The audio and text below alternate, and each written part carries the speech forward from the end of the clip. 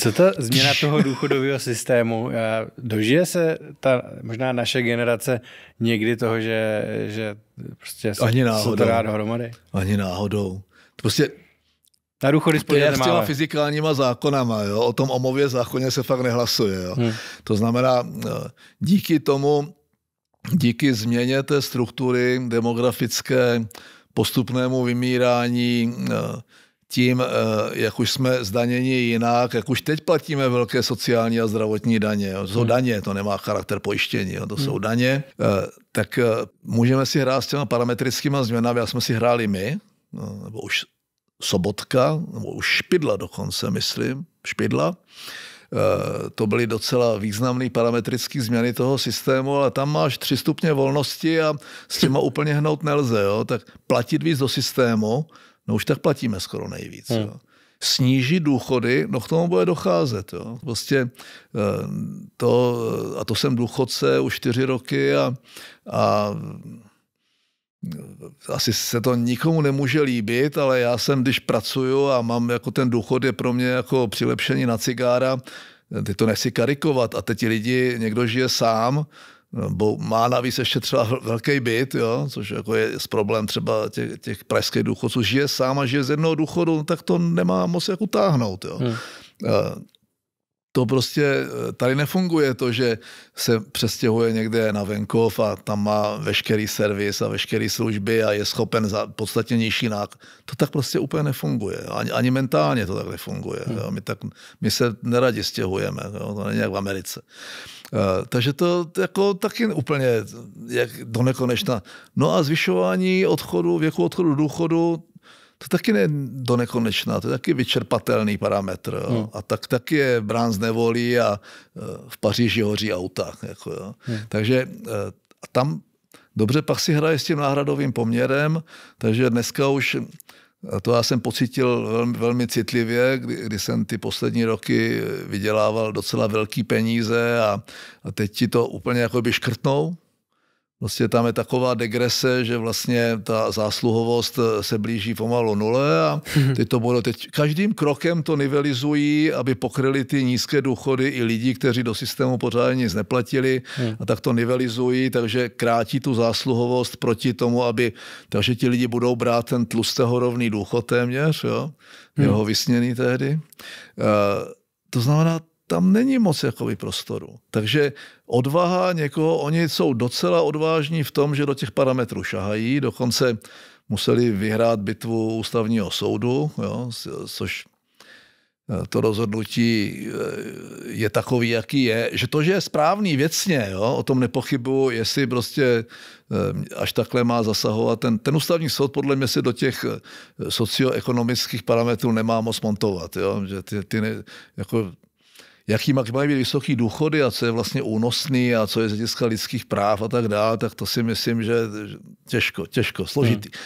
Nicméně dobře a do budoucna je jediná možnost, že, ti, eh, že vlastně eh, pochopí všichni, že to musí řešit sami, eh, že ten stát musí umožnit nějaký opt-out, nějaký že si prostě část toho, část toho nebudeš dávat jakoby, a to musí být ta křivka musí být taková, aby neohrožovala to, že ty důchody už dneska nesnížíš. Jo? Ty hmm. můžeš jakoby zastavit nárůst, to je tak hmm. jako maximum, co můžeš a už tak budeš mít tady prostě narůstají s tím počem voličů, důchodců, prostě popras na laguně.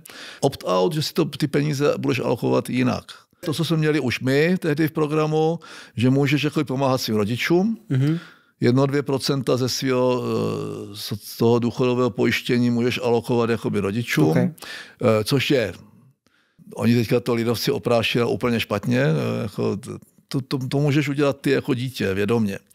A nebo opt-out, že část můžeš alokovat jen do nějakých nástrojů. Jo. Do hmm. nástrojů, které ať už jsou fondové, nebo jsou prostě nemovitosti, nebo nějaký něco jiného, že budeš prostě na ten, na ten důchod si spořit. Jo protože ten garantovaný státní důchod, eh, tak jak to tímhletím tempem zaručí nějaký, nějakou minimální životní úroveň. Nezaručí ti, že by ti odrážel tvoje celoživotní příjmy.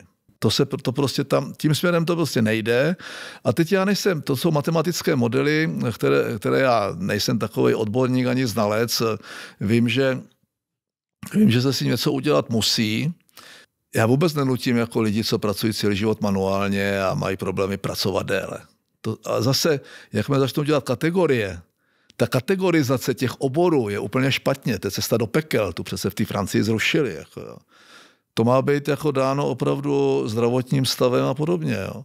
To znamená, dneska znám chirurgy, který je přes 70 a pořád jako už nedělají jako asistent eh, prostě 500 operací ročně nebo tisíc nebo kolik dělají jich míň, ale dělají a jsou hmm. prostě špičkoví.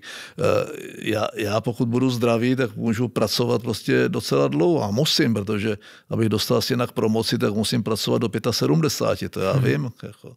Takže to, to tak je. Jo? Já s tím počítám a, a pak jsou lidi, kteří fakt už pracovat nechtějí nebo nemůžou. Tak jestliže nechtějí, tak na to buď mají, nebo nemůžou, ale chtít potom státu jako prachy. Jako jo? Když můžeš pracovat a nechceš a ještě nejsi v důchodovém věku, 100 tisíc lidí odešlo do předčasného důchodu, jenom využili prostě chyby nějaké nebo nějaké díry v zákoně já nevím, já bych ní nebyl úplně milosrdný. Jako jo. Já, já pokládám důchodce eh, nejenom jako dobře, každý má právo na to, aby jako ta společnost se o něho postarala, ta společnost to musí mít. Tak jako řešení není, že někoho skasíruju a budu dávat těm důchodcům. Tolik, kolik berou ti lidi v platech, tak v tom systému, který máme, tak podle toho, jestliže budou lidi chudnout obecně a inflací schudli třeba o 20%, tak nemůžou důchodci zbohatnout. To je úplný nesmysl. To jako žijeme kde? Jako to je perpetuum mobile prostě v kondenzované podobě. To znamená, není možné, když ten stát chudne, ti lidi chudnou, co produktivně vlastně platí ty daně, jo, důchodové, tak nemůžou ve stejné situaci prostě nějaké skupiny bohatnout. To je prostě nemožné. Takže to je, víc k tomu neřeknu. Jako to je, eh, když se s někým takhle budete bavit na čtyři oči, tak vám to je vlastně pravda. No, a prostě v té jednotě je síla a ten stát má fungovat tam, kde selhává prostě ten systém a kde, kde ti lidi prostě opravdu e, nemají na jídlo. Jako.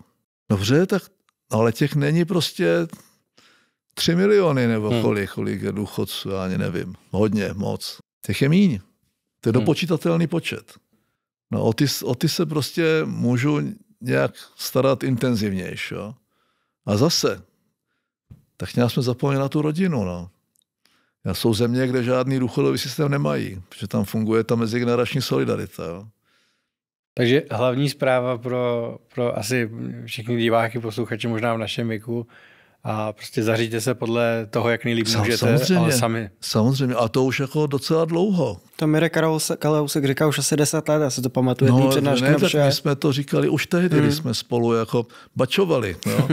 XTB, to je naše osudová láska a rozhodně naše nejoblíbenější investiční apka. XTB je dlouhodobým partnerem podcastu a my jim moc děkujeme za podporu. XTB nedávno spustilo novou funkci, která podle mě totálně zjednodušuje pravidelný investování do akcí a ETF. Říkají tomu investiční plány. Investování je vždycky riziková věc a tohle určitě není investiční doporučení. Ale v mobilní apce XTB si nově můžete vybrat z nejoblíbenějších indexových fondů s minimálníma poplatkama a pravidelně do nich investovat. Jděte k ním na web xtb.com lomeno cz anebo si rovnou stáhněte do mobilu jejich apku pod názvem XTB.